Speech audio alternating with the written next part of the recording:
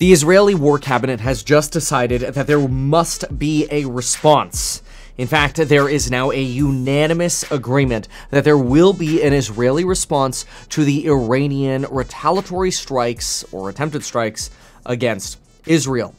Keep in mind that these responses from Iran came in reaction to Israel striking a portion of the Iranian consulate in Damascus, the capital of Syria.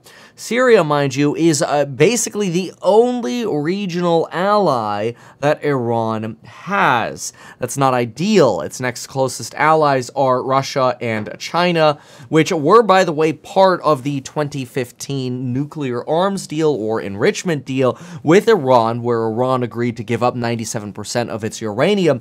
But obviously, while Russia and China were in partnership at that point, now, while Russia and China are arguing that Israel and Iran should chill with tensions, really what you're finding is China, Russia, and Iran have been associated with a bit more of dare I say, an axis of resistance. And that's what foreign policy experts are calling this situation now an axis of resistance. Why?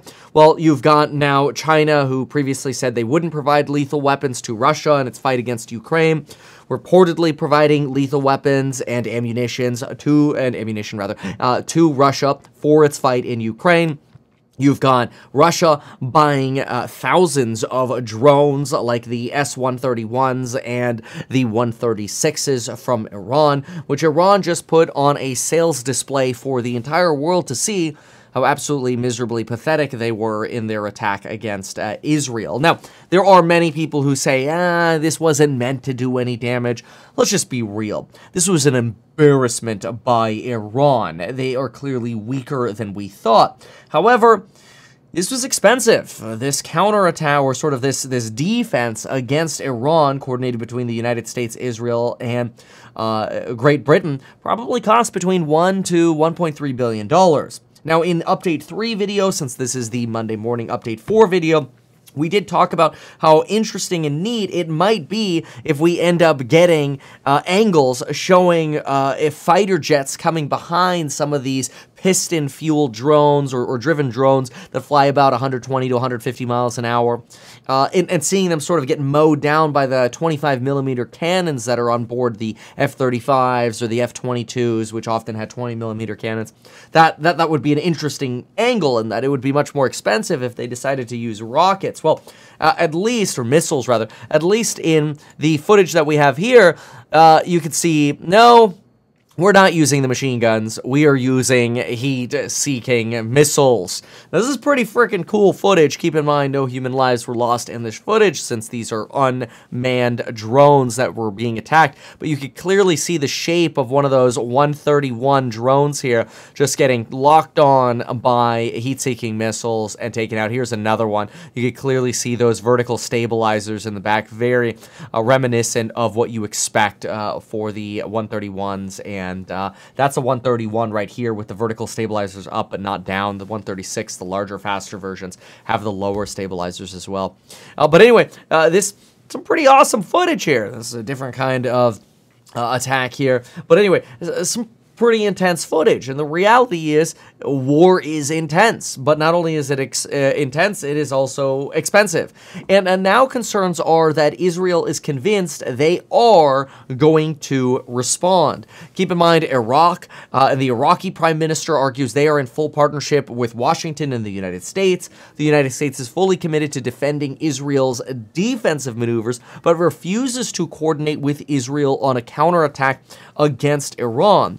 Israel is now looking for options. They're talking, well, they're obviously the leadership is requesting the IDF provide target options to quote send a message to Iran not to do this again. Iran, of course, is responding to this saying, we will respond to any IDF response with a stronger and immediate reaction compared to the response we sent last time. That's that could be saber rattling. It could be a way of Iran saying, "Oh yeah, well." Well, that was just a sample of what you have, you or what we have. We, we may have shot down 99.9% of what you have, but but that was just a sample, okay? We got life insurance that Kevin always talks about. that that is true. I do generally pitch a couple things on the channel, like that coupon code expiring this Friday on the programs on building your wealth. Those are my programs. We've got a lot more stuff coming out this weekend: real estate, stocks, uh, finance, wealth, entrepreneurship, you name it. Great programs over at meetkevin.com. And then, of course, you can get life insurance if any of this stuff makes you nervous. metkevin.com slash life. It's what Apple, uh, it's what Lauren and I use. You can Apple Pay, Android Pay for it. It's great. Uh, and, and check that out. metkevin.com slash life. It's also linked down below. But the IDF is looking for options right now. They're not looking to cause death, uh, they say, and casualties, uh, which could be injuries as well. But they are looking to send a very clear message to Iran do not do this. Joe Biden's point of view was look, why escalate anymore? Uh, everybody's sort of in agreement in the region, like you don't need to escalate anymore. Israel, we helped you out with intel- uh, intelligence.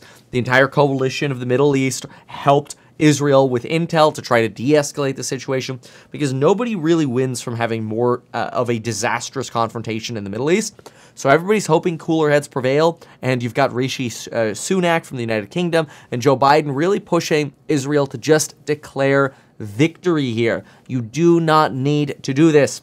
We do not need to respond. Declare victory. You defended it, they threw a rock, you dodged it we're good. You're rebuilding the portions of the airport that were struck. Like one portion of a runway was struck. Big deal. Rebuild it. Very few people hurt. Some people hurt by falling shrapnel. That's obviously not good. But uh, look, declare victory here. The Israeli uh, Air Force here mentions that, that they get a lot of information from uh, their coalition partners, and uh, really their preemptive strikes against Lebanese territory, specifically against Hezbollah, were also quite useful in fending off this attack. But why go attack Iran again now? Iran had enough of an embarrassment. Leave it at an embarrassment. Well, uh, a lot of folks on the internet, of course, are claiming that, well, this was really Iran versus the United States and uh, the United Kingdom. They likely shot down most of these drones or otherwise. Uh, but uh, keep in mind, uh, Israel is the only state in the Middle East so far that's bought Lockheed Martin F 35 jets. Those are some of the costliest weapon systems to ever exist.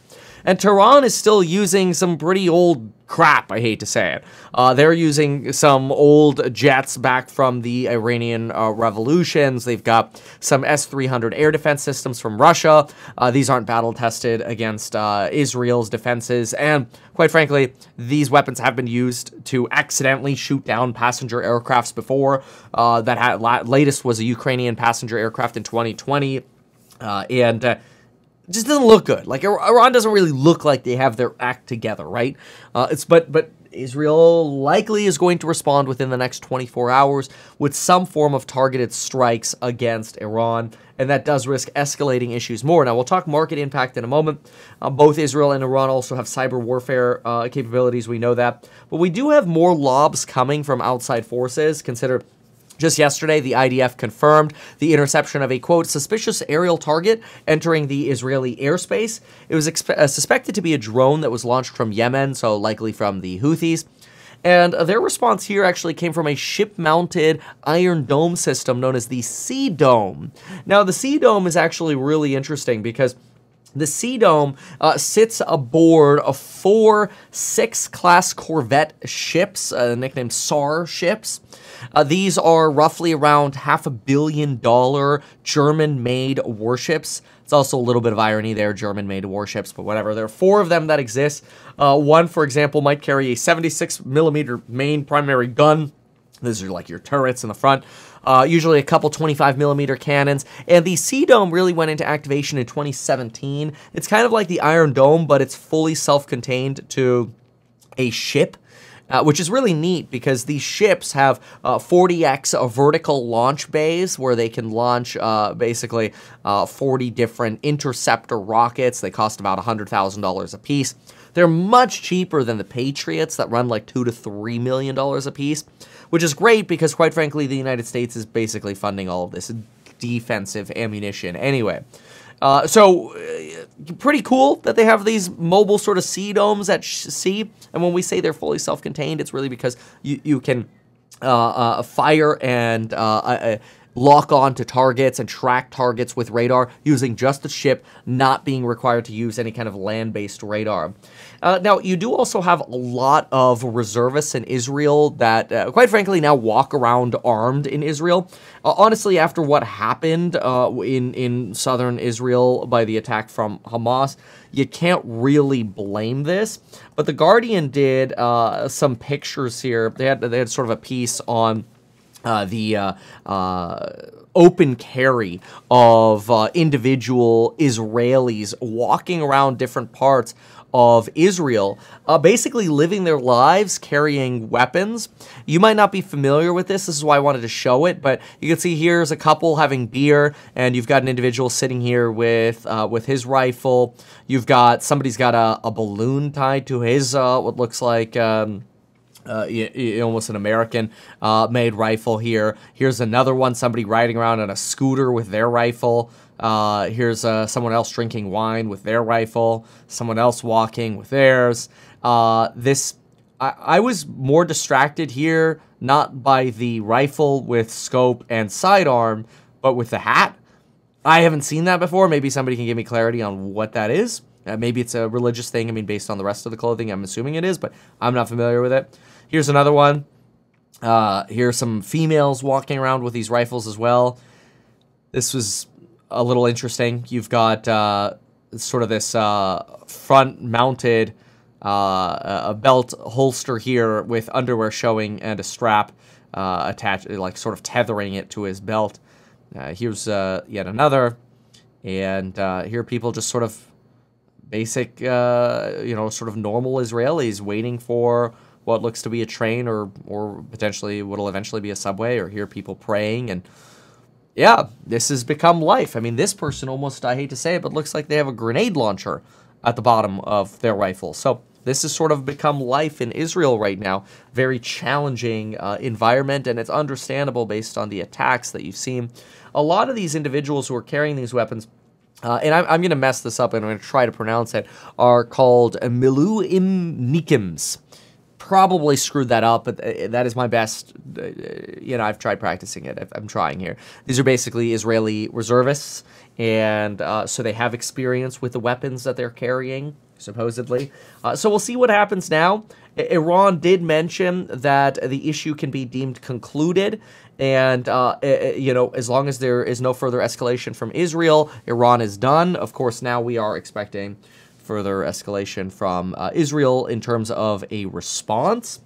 Uh, so, uh, very interesting that we expect more of this pain, unfortunately.